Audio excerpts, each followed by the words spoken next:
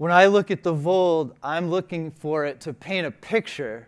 Is the market in play? And is there heavy selling or heavy buying in the market, or is it neutral?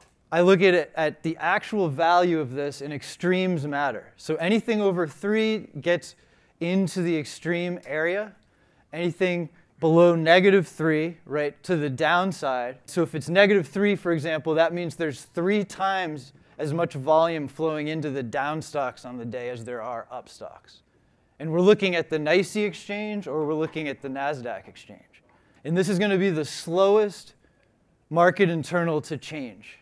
So while it's the most powerful and sort of contextual variable, if the market completely reverses, the VOLD is going to sort of be like the last to the party. So like I like to think of it like if you play chess, the king is like the most important piece, but like it, it has a tough time moving.